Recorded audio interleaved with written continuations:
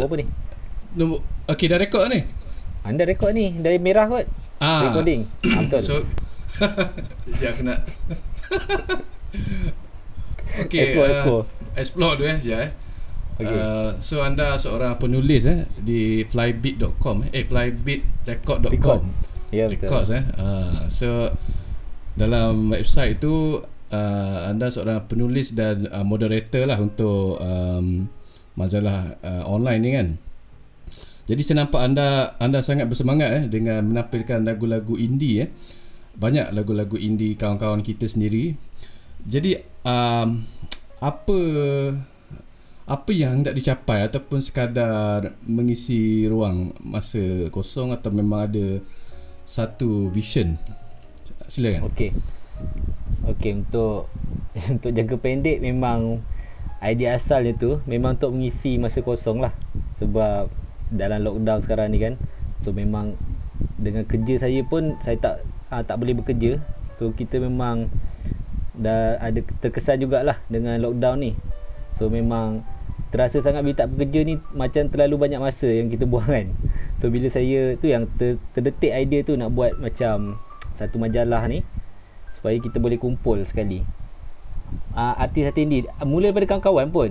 Uh, so saya dengan harapannya satu hari nanti makin ramai kita akan berkongsi walaupun tak ramai tapi at least community kita sendiri, kita sendiri boleh berkongsi tu. Uh, boleh share dengan kita kita sendirilah. At least kita sendiri tahu sebagai pengkarya Eli pengkarya tu sendiri tahu pengkarya lain pun ada buat lagu, kita buat lagu so kita sama-sama support. So dalam jangka masa jangka masa panjang kita tak tahulah mana dia pergi kan kita tak tahu. Kalau kalau ada sambutan saya akan teruskan.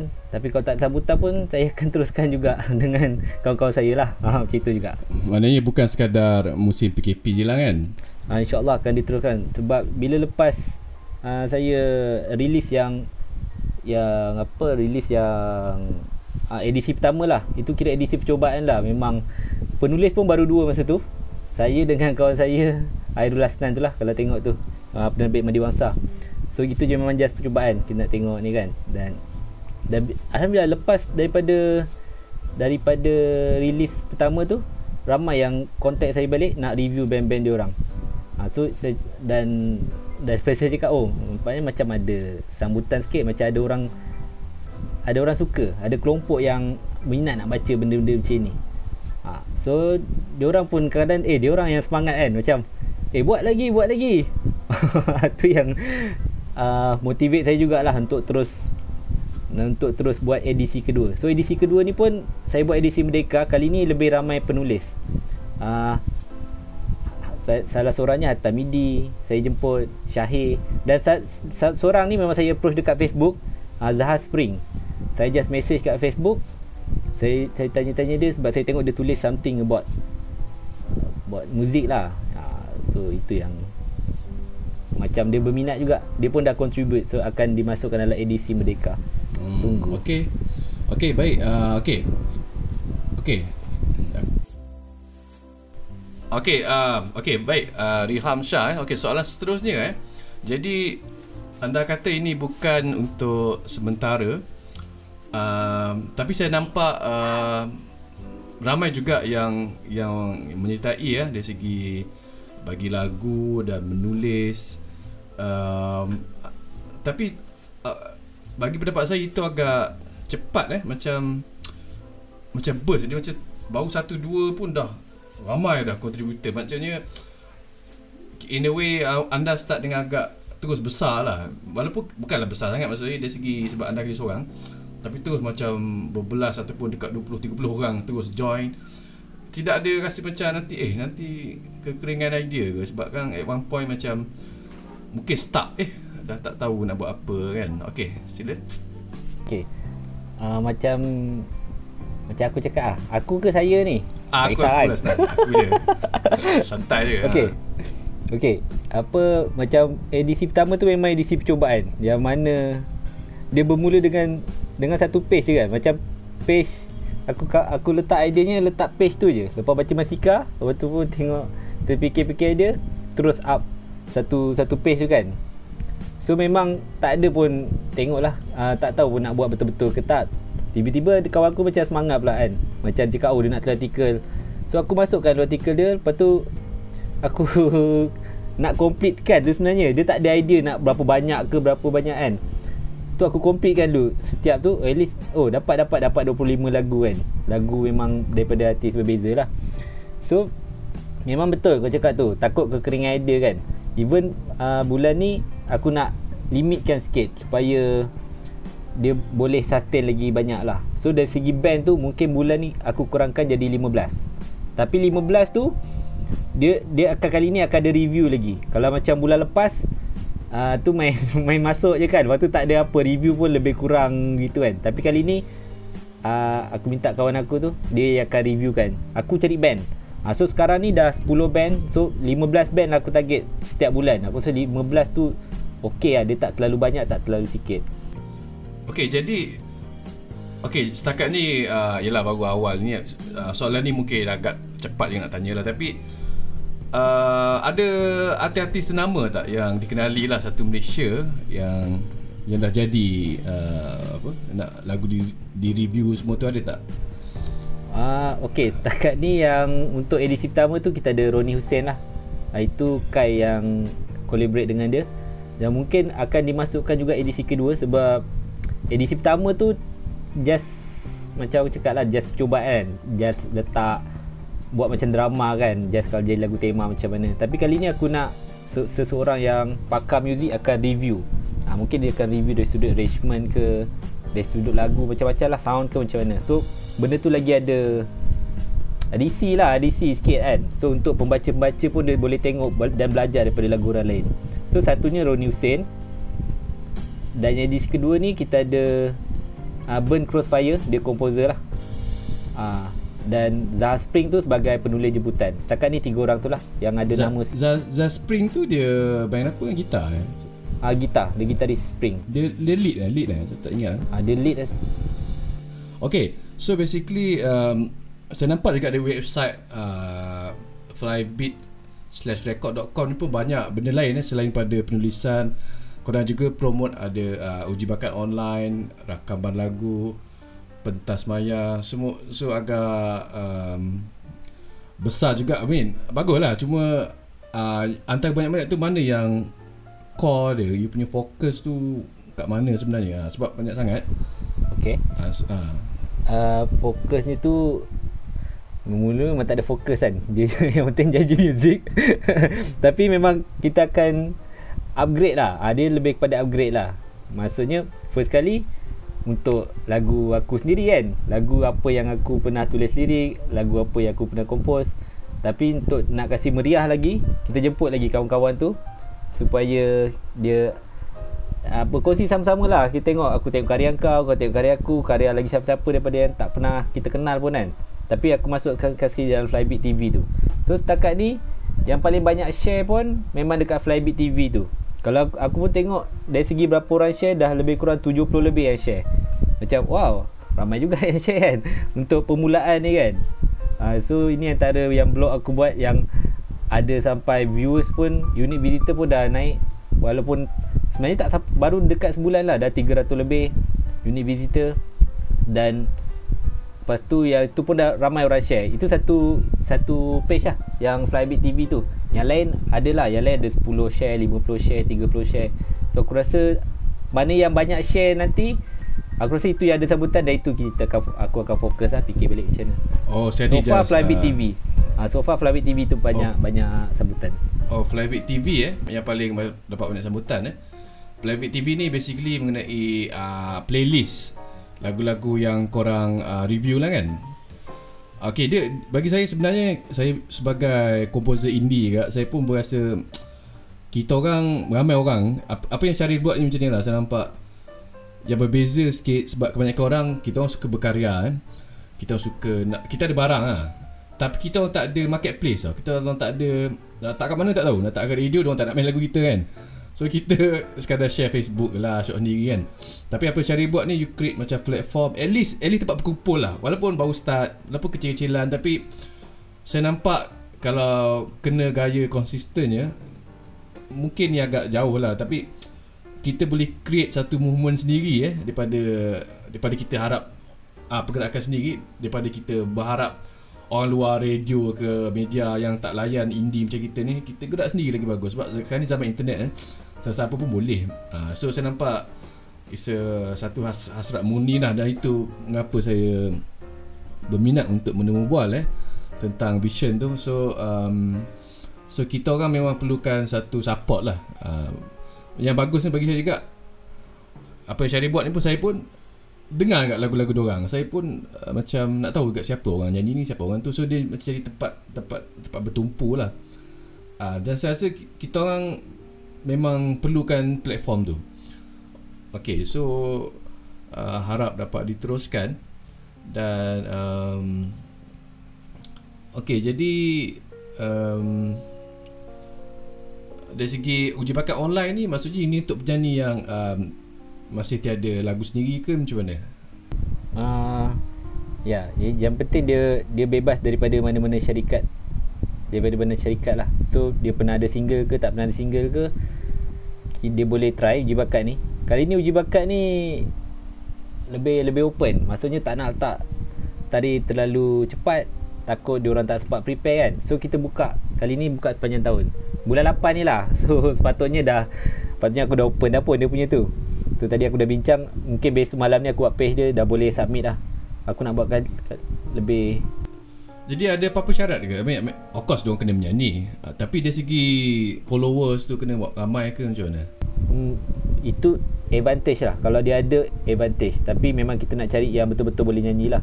Tapi kalau dia memang ada follower dan dia boleh nyanyi ah of course lah. Kita ambil yang tu kan.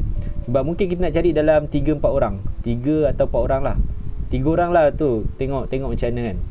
Ataupun lebih pun. Sekali dah ada ke terbitan sendiri? Ada. Anda Madi Wangsa Madi Wangsa Music. So setakat ni Yang betul jalan dah dua uh, Dah dua single lah kita buat Sampai tengah tahun ni. Sepatutnya ada Ada ada Tiga single lagi sangkut sebab penyanyi tak boleh record vokal Sebab PKP kan. Uh, So dia tahu tak boleh pergi studio. Studio sana pun ada yang kat Sabah jauh. Terlalu jauh So macam tak apa kita tunggu bila dah boleh dah dah boleh bergerak semua nanti ah ha, okeylah. Insya-Allah akhir tahun ni akan keluar lagi 2 3 single lagi lah daripada uh, Madi Wangsa Music. Banyak uh, penyanyi solo lah kan, bukannya band uh, lah kan. Penyanyi solo. Band ada satu. Okey, apa di uh, okey korang juga nampak kat website ni ada buat rakaman lagu kan, servis eh. Ini servis uh, servis rakaman lagu tapi zaman PKP ni agak sukar lah sikit kan nak datang uh, studio kan. Pentas maya ni kalau ha. kalau music tu boleh buat kat rumah tapi yang vokal tu memang susah sikit lah. Nana kalau tak ada studio buka lepas tu penyanyi pula tak ada experience kan. Kalau penyanyi tu ada, ada experience record vokal sendiri ada rakaman ada alat rakaman sendiri tak ada masalah. Memang ada pun kita punya uh, penyanyi yang rekod kat rumah je. Kalau ah uh, So dia dia pun ada tapi kena yang pandai sikit lah. Dia pandai dia ada apa DAW sendiri kan? Ha, so dia boleh record kat rumah. So sound tu cantik lagi. Saya uh, okay, meng, uh, mengenai record kat rumah saya tengok uh, kawan kita lah Syaril kan? Eh Syahir Syahir tu awak Syahir ha. dia kan kan dia belikan klien dia mic kan? Dia bagi lepas tu dia ajar tutorial so tapi cara tu mengikut kata dia sendiri pun dia, dia pun kata bukanlah berhasil setiap masa sebab ada time tu dia orang tak reti pun. Ada time kalau macam you kata betul lah kalau orang tu pandai dia okey je. Tapi bukan semua pandai pun. So kena bunyi bising. Dia orang tak dia orang ada menyanyi kan dia orang tak ada pengalaman rekod. So itu tak susah. Eh bukan itu taklah mudah. Tapi at least bagi dia punya pendapat eh at least bisnes jalan lah kan? Uh, takkan nak tunggu takkan nak tunggu sampai PKP buka entah bila kan? So eh, jalan je lah uh, walaupun sound tak perfect jalan je lah itu mungkin uh, itu, uh, ini ini ini mungkin tips untuk untuk siapa yang ada studio sendiri kan nak cari makan juga tak boleh nak stop lah just buat je lah apa termampu kan uh. so um, Okay, mengenai siapa Mahdi Wangsa tu siapa nama seorang kawan you apa? Hairul Hasnan. Hairul Hasnan tu dia seorang producer eh. Uh, ha, dia dia pe, ni lah penerbit Mahdi Wangsa Music ha, dia juga pensyarah bukan pensyarah muzik lah dan dia dia juga pencipta lagu lah ha, bukan pencipta lagu dia lebih kepada audio engineering lah mixing, mastering, arrangement ha, dia, dia pun drama oh suka kawan dengan drama eh, dia dulu lagi. tak tahu kan. Jumpa drama juga kan. apa ni ta- tapi si uh, apa uh, so dalam Flybeat record ni korang berdua ke atau awak seorang ni? Asalnya sebelum Mandi Wangsa wujud tu memang aku buat Flybeat Records lah. Kalau kau perasan dulu aku buat Petah Hati pun tak ada ala tuju kan. Petah Hati nak, mula siapa kan. Lepas tu tiba eh Petah Hati nak buat lagu macam tak kena pula kan. So aku tukar nama. Sebelum Flybeat Records sebenarnya aku tukar nama Stella Records. Stella Records Aku cakap Stella Records ni Lepas tu dah tu saya cakap macam Benda lah Stella Records Lepas tu dapat nama Flybeat Tiga kali tukar Macam kau pun dah cakap kan Kau tak ada identiti Nak buat apa kan. Sampai aku puas hati Dapat Flybeat Records Aku rasa aku puas hati. Sebab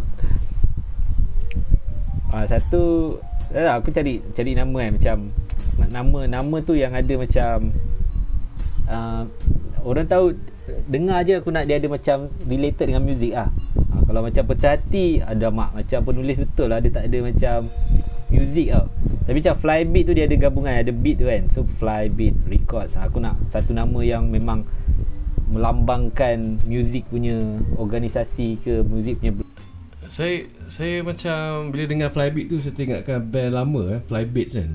Ah dia macam dia ada dia ada berbunyi retro lah, retro kan. Dia bunyi uh, ya lagu-lagu 70-an style kan. kan?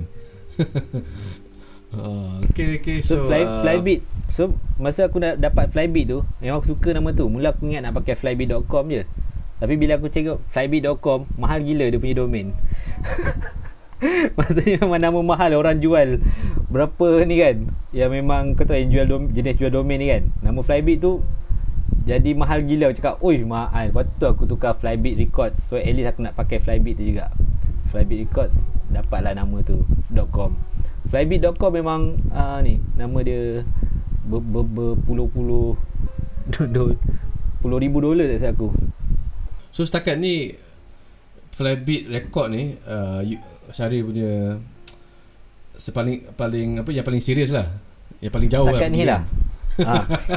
Setakat ni yang paling uh, Menampakkan Tak tahu pergi mana Tapi Itu yang paling banyak Banyak hit pun Paling banyak Apa Pengunjung Ah, se- mungkin aku, aku pun rasa sebab uh, sebab you buat sharing buat platform tu kan. Ah, sebab itu yang menarik you tag orang sana sini kan.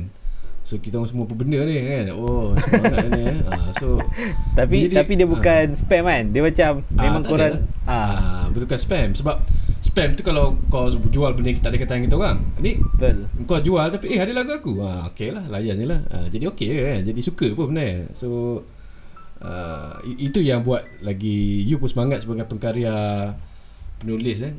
Macam Syahri pun memang suka menulis so memang kena dengan personality lah buat-buat blog buat-buat blog ni kan. Yes dia, dia bila ada macam orang tengok tu lagi Macam audien kan Kita macam Sama lah Kita menulis lagu ke Tulis apa Bila ada audien tu lagi macam Oh Kena tulis lagi bagus ni ha, Macam tu. Kena tulis something yang lagi menarik ha, Macam tu.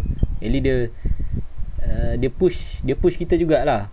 Kan? Berbanding dengan kalau Aku nak tulis untuk siapa? Kalau shot sendiri kan? Tak apa-apa je kita tulis kan? Menerawang Dia tak ada langsung ni. Tapi at least ni macam ada audien Walaupun sikit Tapi macam Okay aku akan tulis Sekian-sekian. Aku akan cari Topik yang sebegini Supaya orang muzik ni Nak nak tertarik dekat Dekat situlah Dekat kita punya blog platform lah. Tapi sa- saya pun nak kaitkan juga dengan saya apa saya buat ni pun. Saya ke aku kan aku lah. Uh, apa yang aku buat temu bual podcast jadah ni pun benda ni aku dah lama dah nak buat tapi tapi sejak Syaril kau buat jadah ni kau buat kau punya ni flybeat ni uh, aku sebab rasa rasa macam ada geng lah you know tak adalah aku jalan seorang-seorang interview orang tak sepasal kan. So so kalau kau dah mula tu macam ah, aku join je lah. Kau buat kerja kau aku buat kerja aku. So kita temu lah mana-mana kan. Uh, so Aku rasa kita boleh Combine pun. Maksudnya uh, Dia Macam satu gabungan lah. Macam Okay lah Kau buat sendiri Aku buat sendiri. Tapi sebenarnya Dia selari tau. Apa yang kau buat Apa aku buat. Nanti kau boleh temu bual Siapa yang Apa yang dah join-join band kan? Kau pilih lah Kau nak temu bual siapa. Ya ya Yang betul, kau dah temu bual tu Dan- boleh. Dah betul. Dan sebenarnya sebelum Sebelum kau buat ni Nampak macam aku tiru kau. Tapi tak Aku memang dah fikir dah Aku nak Aku nak sebab aku minat dengan pembikinan lagu so aku nak belajar daripada orang yang buat orang lain. Dia tak mesti orang, orang popular pun. Macam aku nak interview Kai nanti kan. Macam mana kau buat lagu tu? Macam mana kau nampak penyanyi? So lagu tu perspektif lain sebagai komposer aku minat dari segi pembikinan lagu tu. Dulu aku duk cari apa komposer popular tapi uh, tak apalah kita buat je lah. Sesiapa pun sesiapa pun kita boleh belajar kan tak mesti yang popular pun. Uh, kalau ada popular tu bagus lah. Tak, tapi bukan dia, uh, bonus lah ya. Yeah. so so okay. Saya rasa aku rasa itu saja soalan sebab korang pun baru sebulan dua kan. Nanti mungkin setahun lagi aku interview lagi masa tu mungkin lagi banyak cerita kan uh, so kalau kalau dapat diteruskan insyaallah. Ah, harap tak aku rasa aku pun duk push kau juga lah untuk teruskan aku pun perlukan kau juga untuk kau kau buat aku rasa jaki aku buat ah, faham tak dia kena macam tu Eh, ba- Ah. bagus. Kita kita apa? Kita combine sekali tau. Maksudnya aku fikir dengan aku bincang member aku itu. Maksudnya aku aku suka uh, kita ni semua memang suka gerak seorang-seorang. Macam aku suka flybeat, engkau dengan saja kiri, Kai dengan vibe art, si Syahir dengan longan, betul tak? Aku aku lebih suka macam tu, masing-masing ada pegang benda masing-masing tau. Tapi benda ni ap- apa yang aku nak buat ni semua try share something untuk atas satu nama lah macam sebab tu walaupun aku buat flybeat tapi aku buat satu majalah tu nama dia Mu- Mustika Mustika ni aku nak gabungkan. Siapa-siapa lah setakat ni kita mula kita dulu. Aku uh, yang first dua penulis. Tapi yang second edition aku dah jemput at least dalam lima penulis. Baru majalah tu lagi ada value lah. Berbanding dengan seorang penulis satu spek satu satu apa satu kepakaran je kan. Dua dua dua punya ni. Tapi kalau lima enam orang ah nanti baru nampak macam banyak sikit. Baru baru macam majalah. Betul aku ajak Angkau ajak Kai Syahir ah nanti tengok edisi ketiga pula siapa yang kita berjemput. So kalau boleh kalau ada dah ada dalam 5 6 orang at least boleh commit benda tu lagi senang sustain. Dan kita tak perlu bukan seorang punya kerja. Kalau kalau aku seorang yang buat buat, buat ni memang ni kan. Tapi kalau ramai-ramai buat seorang at least satu artikel mesti boleh jalan. Dan semua dapat benefit. Contoh eh macam aku cakap aku kumpul sekarang dah ada campur kau dan Kai tu lima aku buat tu lima penerbit kan. Sekarang aku dah jumpa lagi dua orang penerbit muzik. Diorang ni pun aktif tulis lagu. So kalau se- semua boleh share something setiap bulan share lagu share apa so benda tu lagi senang gerak. Dan dia tak ada pressure seorang-seorang lah. Maksudnya kau just share je Apa yang kau nak tulis. Macam update Macam update status kan. Tak ada pula kita pressure kan Bila update status kat Facebook. Cuma Letak uh, Extra effort sikit je Nak kasi dia cantik macam Posting untuk masuk Jadi artikel lah. Artikel yang Orang lain boleh baca. Ha, Sebab kalau post Aku tengok ramai yang post kat Facebook pun Dia punya posting standard pun Dah macam artikel kan. Ha, So kalau seorang satu artikel Kalau ada ada 6-7 orang dah 7 artikel. 7 artikel tu pun dah dah, dah boleh sumbang 15 ke 20 page. Ha, campur band-band lain lagi kalau 15 band kalau sebulan ke 30 ke 40 page pada aku dah okey dah untuk majalah digital ni hmm. dia tak terlalu banyak tak terlalu sikit lah tapi macam-macam input kat situ ada Hmm. Dia uh, sebab sebab bukan semua orang boleh menulis pun kan. Bu- Bukan semua orang suka menulis macam aku tak tahu lah Kai aku tak nampak pula dia menulis kan. Uh, tapi uh, okay kau, kau buat apa kau buat tu. Dari situ aku cedok idea kau. So aku aku interview lah. Aku nanti next empat kau ni aku aku nak interview komposer Kai lah. Uh, lagu yang kau buat lirik tu. Dia, kalau boleh aku nak interviewkan penyanyi tu sekali. Walaupun kau cakap kau tak kau tak bangga sangat dengan, dengan lirik tu. ini tak boleh. Ni ni ini kena kena cut ni. Cakap, oh. Alah jujur lah. Tak, tak tapi tapi aku aku still macam aku curious gak So apa macam mana kau tampak? Kau tahu sebenarnya kan aku cakap terang kan Aku nak jadi kalau kau kenal podcast macam Joe Rogan kau kenal? Orang, orang putih lah. Tak kenal. Nanti Dia- aku boleh boleh ah, cari. nanti- Dia jenis dia cakap tu jujur lah macam ni lah. Dia cakap bagi je. Ah, so aku ada aku rasa aku nak ambil dia approach lah macam contoh kan. Mungkin mungkin kau tak setuju. Mungkin ramai orang tak setuju pun tapi aku nak tanya kak kau tahu tak Kai sebenarnya aku nak lagakan korang lah. Aku akan cakap. Aku cakap. Sebenarnya Syar, je. Syaril Syaril Dia rasa lirik aku ni Sepatutnya macam tu.